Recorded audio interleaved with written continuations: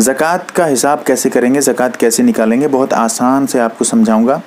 देखिए, ज़क़़त जो है, तिजारत का जो माल है, उसके लिए अलग मसला है और इसी तरह जो जानवर वगैरह पाले हैं, उनका अलग मसला है।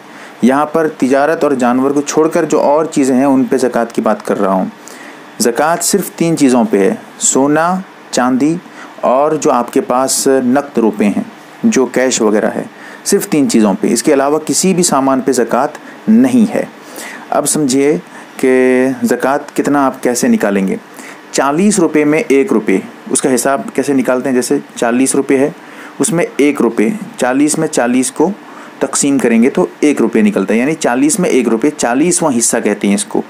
अब हिसाब कैसे करेंगे? देखिए, आपके पास सोना कितना रुपये है?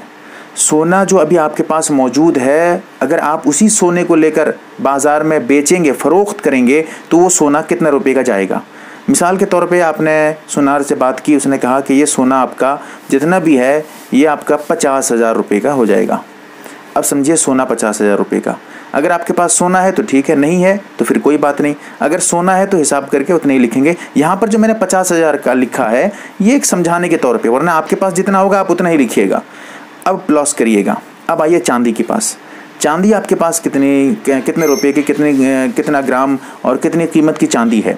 चांदी अगर आपके पास, मिसाल के तौर पे, नहीं है तो कोई बात नहीं, हिसाब मत करिए, चांदी का छोड़ दीजिए। अगर चांदी है तो सुनार के पास लेकर मालूम करिए कि मेरे पास इतना चांदी है, इतने ग्राम का चांदी है, इतना किलो चांदी है, अगर मैं आपको दूँ तो कितने रुपये में आप लेंगे? वो बताएगा कि इतना रुपये लग जाएगा। मिसाल के तौर पर चांदी आपके पास बीस हज़ार रुपये की चांदी है। अब नहीं है तो फिर चांदी का हिसाब छोड़ देंगे, कोई बात नहीं है। अब उसके बाद हिसाब करेंगे कैश। आपके पास कितना रुपए कैश है, बैंक में है, या आप किसी और के पास रखे हुए हैं, जो भी है, आपके पास नकद कितना कितना रुपये मौजूद है। अब मिसाल के तौर पे आपने अकाउंट वगैरह में हिसाब किया सब मिलाकर आपके पास कुल एक लाख रुपये नकद मौजूद हैं।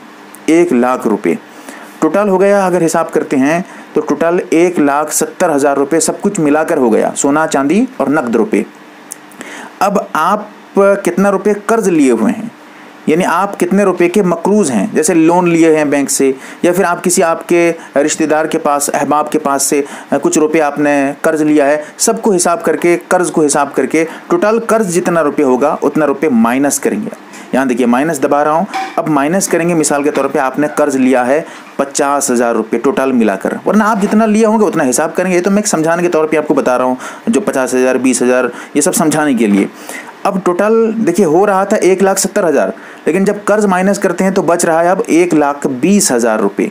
तो अब एक लाख बीस हज़ार में, क्योंकि हमको चालीस रुपये में एक रुपये के हिसाब से निकालना है तो इसीलिए अब तकसीम करेंगे। तकसीम करेंगे एक लाख बीस हज़ार को चालीस में। जब एक लाख बीस हज़ार को चालीस में तकसीम करते हैं, चालीस में तकसीम इसलिए कर रहे हैं क्योंकि चालीस रुपये में एक रुपये निकालना है। तो एक लाख बीस हज़ार को जब हम चालीस में तकसीम कर देंगे तो उसी एतबार से पैसा हमारा निकल जाएगा। तो निकल रहा है कितना? तीन हज़ार रुपये।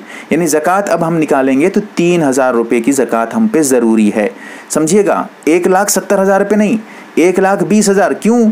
वो भी समझने के लिए मैंने कहा कि ये जो है कर्ज़ वगैरह माइनस करेंगे। और ये मैंने मुख्तसर से बयान किया है, वरना पूरी तफसील, पूरी डिटेल्स चैनल पे मौजूद है। आप ज़क़़त का तरीक़ा by M A R B दीनी मालूम लिख कर सर्च कर सकते हैं। 20-22 मिनट की वीडियो पूरी डिटेल्स पूरी तफसील उसमें मौजूद है।